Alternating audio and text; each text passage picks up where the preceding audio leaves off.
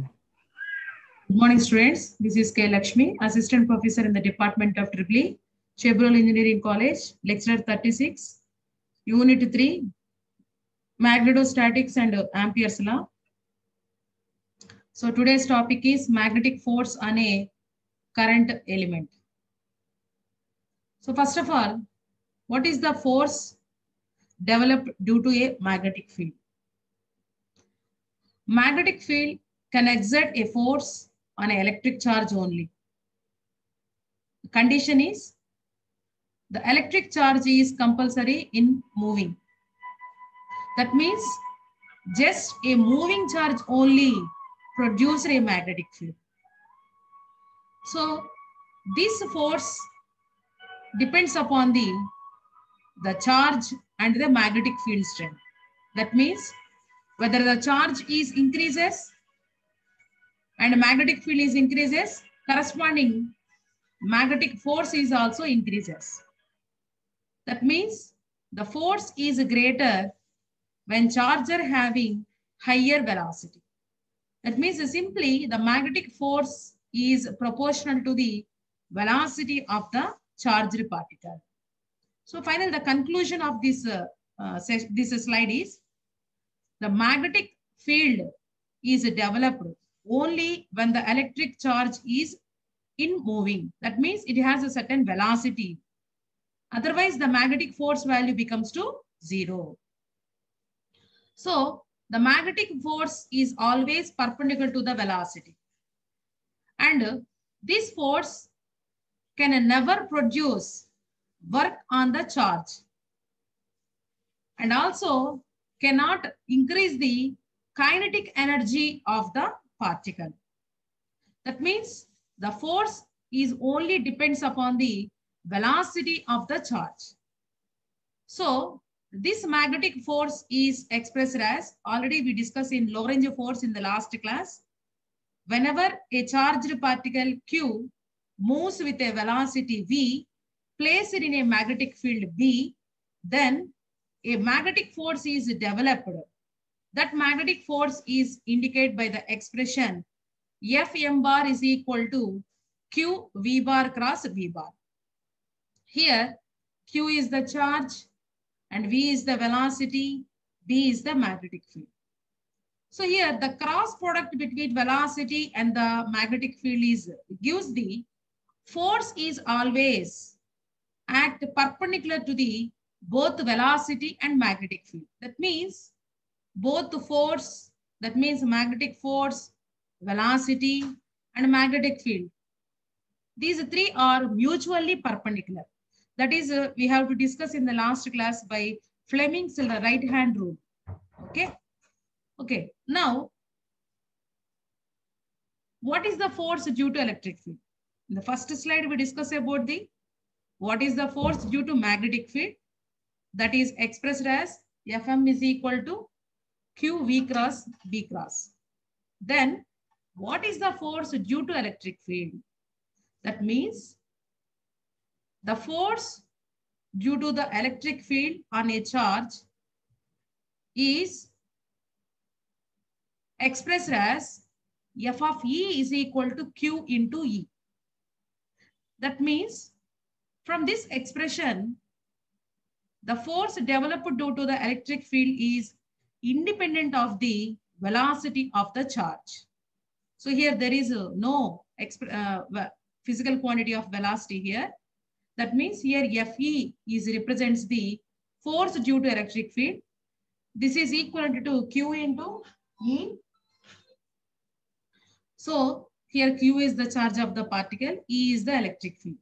Whenever a charged particle is placed in electric field, a force is developed. This force is called electric force, but it is clearly independent of the velocity of the charge. Okay. Now, what is meant by Lorentz force? When a charge travels through both in electric and magnetic field, that means a charged particle passes through electric field and also in magnetic field. That means here both electric and magnetic field is applied to the charged particle. That means what is the net force acting on the charge? That net force is called Lorentz force. So this Lorentz force is the sum of magnet and electric force. Already here, we calculate the magnetic force F of M is equal to Q into V cross B cross and uh, electric force is equal to QE. Now, by the sum of F bar is equal to QE bar plus Q V cross B cross. So by common the Q value here, F bar is equal to Q into E plus V cross B bar. So simply this expression is the uh, Lorentz force. That means this is the total force acting on a charge when placed in a both electric and magnetic field. Okay, this expression is used in when particle accelerators, cyclotrons, and synchrotrons like so the magnetic field can be used to keep the charges moving in a circle while the electric field is used to accelerate the charges and impart them energy. That means here the particle is continuously moving and that moving moment, moving direction is in a circular path. So this is the very important expression, Lorentz force equation. So whenever in exam point of view, when the ask uh, explain about the Lorentz force, you have to write the both uh, first uh, three slides. So this is the force acting developed due to magnetic field and the force developed due to electric field. Now the force uh, developed when charged particle placed in a both electric and magnetic field. So this is very important expression, which is a Lorentz force developed due to a charged particle placed in a electric and magnetic field. And next concept, a magnetic force on a current element. So first of all, what is the meaning of current element?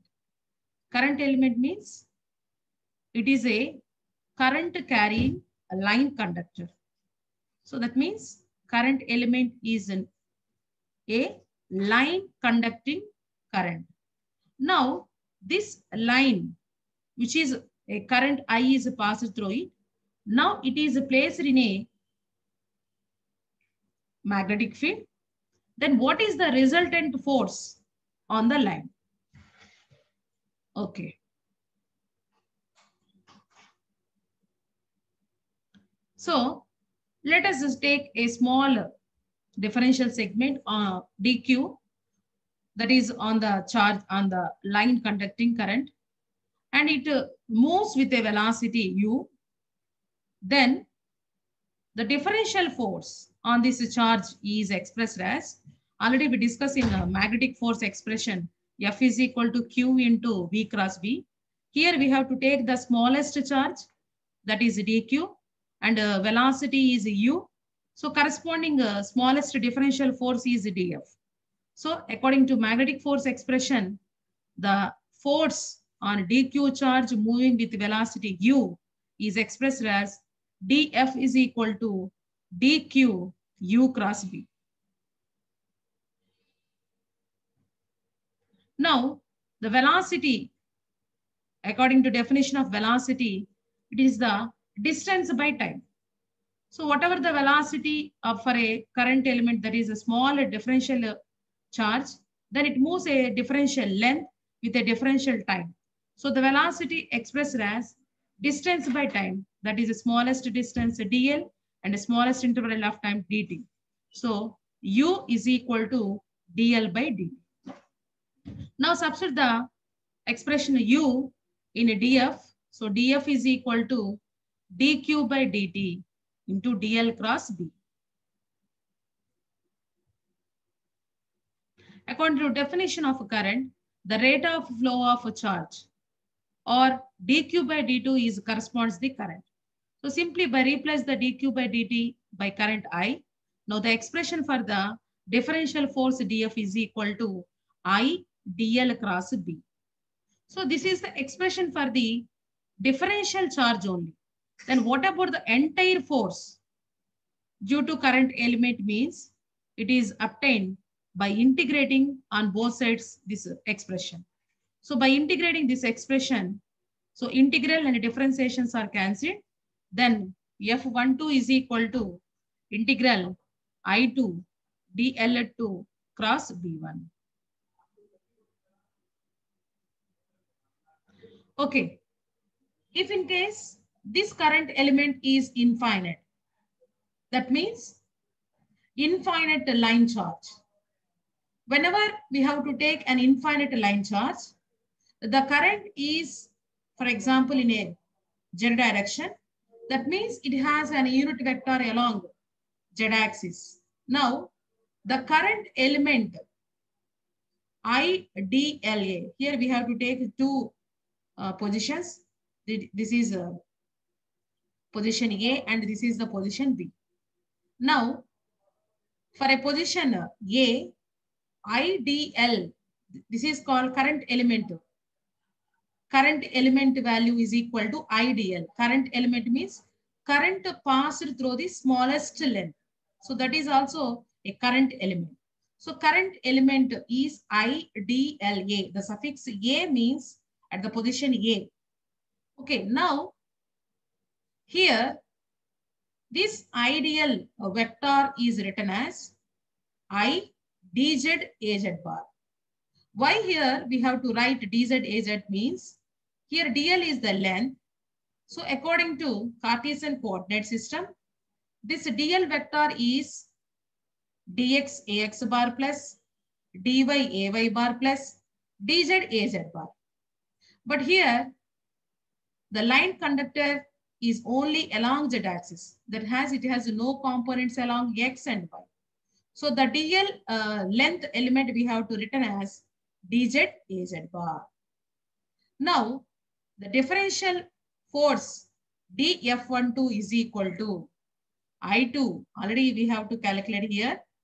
I2 DL2 cross B1.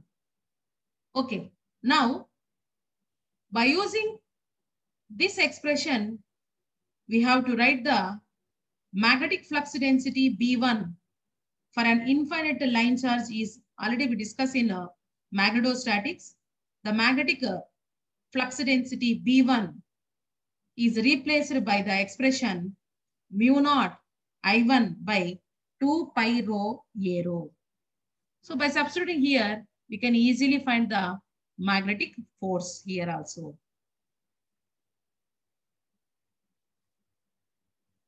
Now the next concept is magnetic force between two current elements.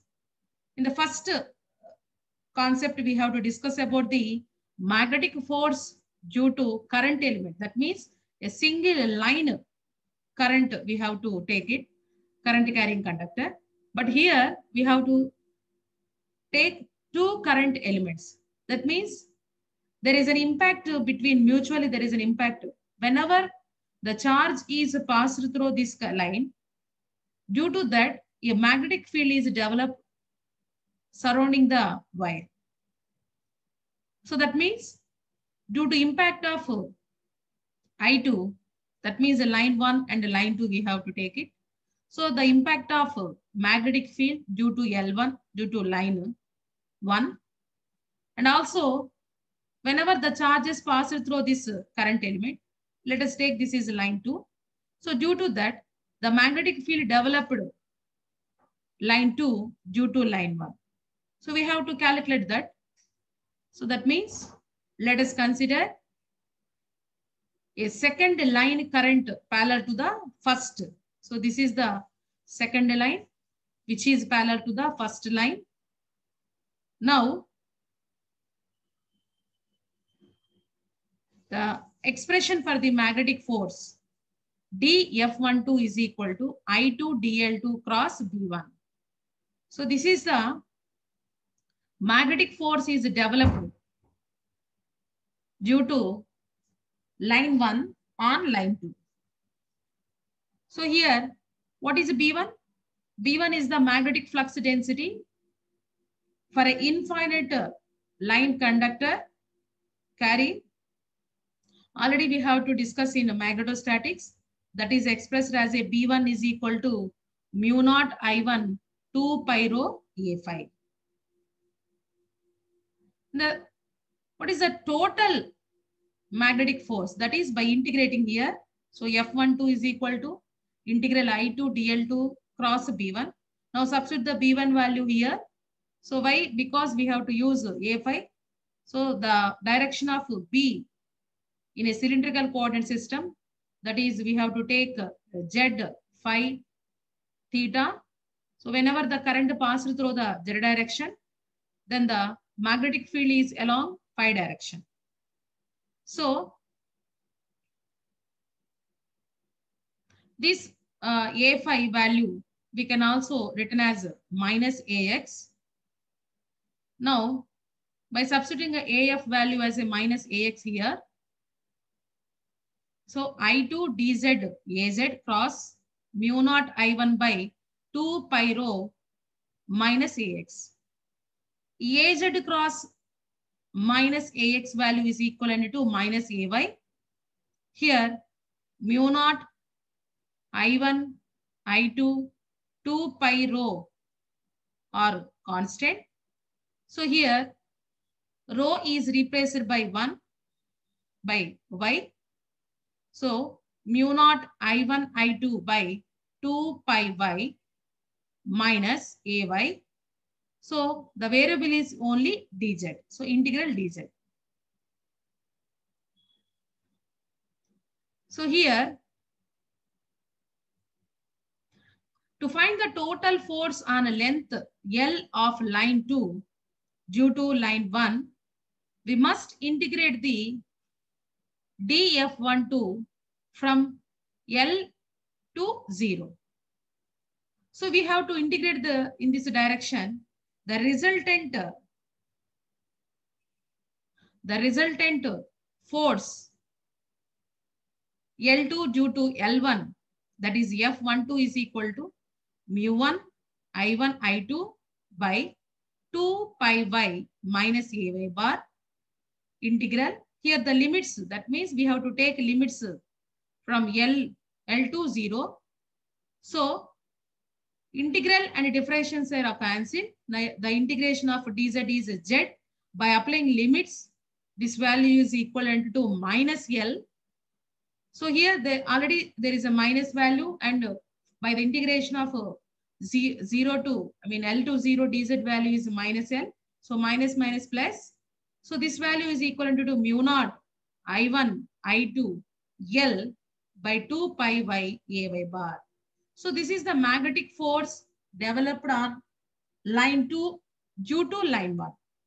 Similarly, similarly, magnetic force developed line 1 due to line 2 that is expressed as a F21. By calculating of F21, by observe the values of F21 and F12 are equal but in opposite direction. So that means whenever charges are, that means whenever the current flow, the currents here, the flow in opposite direction, automatically the directions of the magnetic field also changes. That means the direction of the magnetic field depends upon the direction of flow of a current. So here the flow of current is in opposite, then automatically the resultant magnetic force is also equal but in opposite direction. So the conclusions are the two parallel lines with current in opposite direction experience a force of repulsion. For a pair of parallel lines with current in the same direction, a force of attraction would be result. So that is the very important concept. So here, the magnetic force is completely depends upon the direction of the current. So this is the expression for the force on a line 2 due to line 1. Similar, the same expression we have to get the force on a line 2 due to line 1. So these are the topics today we discuss. Once again, I repeat. First, we discuss about the Lorentz force. So what is the Lorentz force? It is the sum of the charged particle travels through both electric and magnetic field. So that net force is equal to the both electric and magnetic force. So this is the expression is named as a Lorentz force. And the next concept is magnetic force on a current element. So that magnetic force on a current element is expressed as a dF is equal to IDL cross B.